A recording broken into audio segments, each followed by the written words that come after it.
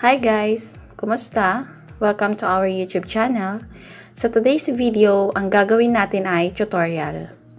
So magbo-voice over lang ako guys. So ang ating ang aking ituturo ngayon ay paano gumawa ng YouTube channel. Lalong-lalo na sa mga baguhang YouTuber o gustong mag-YouTube.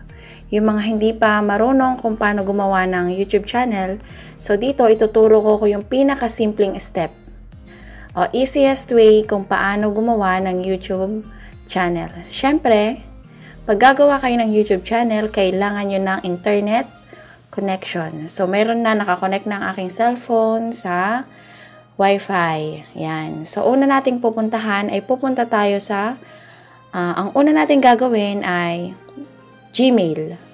Okay, ito ay libre. Yan. Sa paggagawa ng YouTube channel, ito ay libre, walang bayad. Okay, so, magsimula na tayo. Pupunta tayo sa Gmail icon. Hanapin natin ang Gmail icon. Yun, nakita ko na. So, hintayin lang natin, naglo-loading siya. Ayan, so dito, meron nang naka uh, naka-login na YouTube channel. So, ang gagawin natin ay gagawa tayo ng panibagong YouTube channel. So, dun sa upper right, sa taas, yung may profile pic dyan, doon, ikiklik natin yan, guys. Ikiklik. Yan. So, yung pangalan ng channel ay The Couple. Ayan. Dito sa may baba, add another account. Yun. Yun ang ating pipindutin. Add another account. Yan, guys. Pag lumabas na, set up email. So, ang pipindutin natin dyan, marami kasing lumabas. Merong Google, Outlook, Hotmail, and Live, Yahoo, Exchange, and Office 365 other, ang pipindutin natin pag gagawa tayo ng uh, YouTube no, email o YouTube channel natin ay Google. Yan. So, hintayin lang natin. Yan, verification para ano to, may, kung may password ng inyong cellphone. So, hintay lang, naglo-loading. Yan. So, yan ang lalabas. Sign in. Una, syempre, pag meron ka ng Gmail, ilalagay mo na doon sa email or phone. Pero ngayon, ang gagawin natin, gagawa tayo ng panibagong o gagawa tayo ng bagong Gmail account. Pipindutin natin ang create account. Ayan. So, meron dyan, mamimili ka kung for myself o to my to manage my business. So, tayo ang pipindutin natin ay for myself. So, loading ulit. Ayan, lumabas na. Una, maglalagay ka na iyong first name. Ano ba ang first name mo? Halimbawa, ilalagay natin ay Erica May. Ang last name, halimbawa ay Cruz. Yan. So, after nyan, next. Yan. So, lalabas dito yung mga basic information nyo. Enter natin yung ating birthday o yung inyong gender. Unahin natin ang day. So, ang birthday ay, uh, halimbawa, 03, month ay May, year ay 1993. Okay. So, gender, kung ikaw ba ay lalaki, babae, ganyan. Kung, pero kung ayaw mong sabihin, ay okay lang. Pero lagay na lang natin is female. Then, after nun, next. Ayan. So, dito mayroong mga suggested na email address o Gmail address or pwede kang gumawa ng sarili mong Gmail. Ayan. So, dito, uh, mayroon ng suggested. Uh, kaya ang gagawin natin ay gagawa tayo ng sarili natin. Pwedeng Erica May, pwede na yon Cruz, Erica11 at gmail.com, okay na yun. Pero kung gusto mong gumawa ng sarili mong Gmail, magke-create ka. Pindutin natin ang create your own Gmail address. Ayan. So, gagawa tayo. Ang ilalagay natin ay, syempre yung pangalan na nilagay natin para mas mag-ano. Erica May, wait, uh, small letter lang. Erica May, yan, at Gmail, uh, Erica May Cruz. Excuse me. at gmail.com, then next. Erica May. So, kailangan niya ng Wait pala, mali.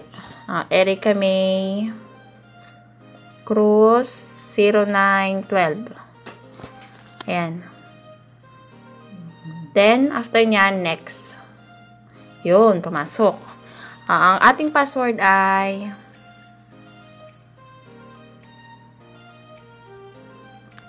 Wait lang, kukuha ko ng gunting ay ng ballpen at baka makalimutan ko yung password na email na nilagay natin ay 0912. So, punta na tayo sa paggawa ng password.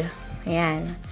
So, nakikita nyo ba dun sa left, sa right side, merong mata, eye sign. Ewan ko anong tawag dyan, para makita yung susulat natin. So, ang password na ilalagay natin ay ikang 08 76 38. So, ikakopy natin siya. Kung ano yung password na inilagay mo nung una, ikakopy mo lang. For verification. Yan.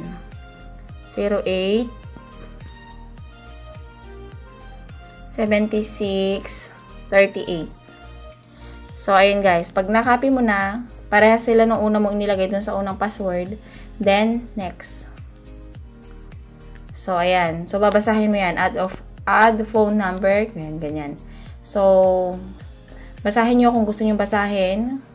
Pagkatapos nyo basahin, ang gagawin nyo ay skip. Ayan guys, nakagawa na tayo. You can use this Gmail address to sign in later. Ayan, ito yung ating Gmail address na nagawa. Erica May Cruz 0912 at gmail.com. Ayan, next. Yun. Then, after nyan, syempre, kung gusto nyo basahin isa-isa yan, mga privacy and terms na yan, so, pwede nyo basahin. After nyan, I agree. So, hintayin lang po natin naglo-loading. So, ayun guys, meron na tayong Gmail address na nagawa. So, i-check natin kung meron na. So, click natin yung nasa taas. O, tingnan natin dito sa listahan, uh, dito sa mga na, Gmail na naka-login dito sa cellphone na to. Meron ng Erica May Cruz 0912 at gmail.com. So, paano tayo mag-login sa YouTube?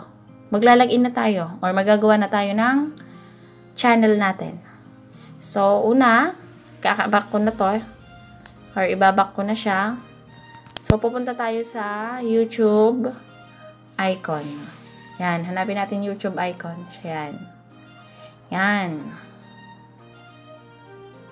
So, meron ditong naka-login kaya mag lalog out natin to. So, ang gagawin natin ay switch account.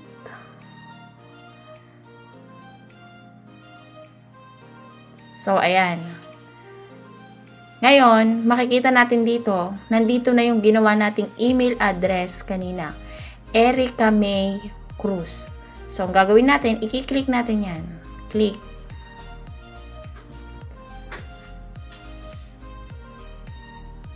So, wait lang. Yan.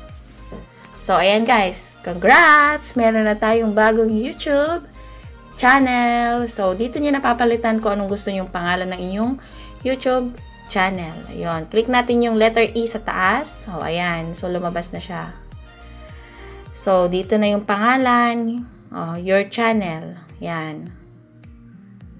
So, dito nyo napapanga uh, ilalagay ko anong gusto yung pangalan ng iyong YouTube channel. Kung Erica May, kung anong gusto nyo. Then, create channel. Yan. So, ayan. Meron na kayong YouTube channel. So, next time guys, ituturo ko naman kung paano maglagay ng profile picture sa inyong YouTube channel. So guys, sana na gustuhan nyo ang aking tutorial ngayon. Napakasimple, napakadaling sundan. Sana ay meron kayong natutunan. So,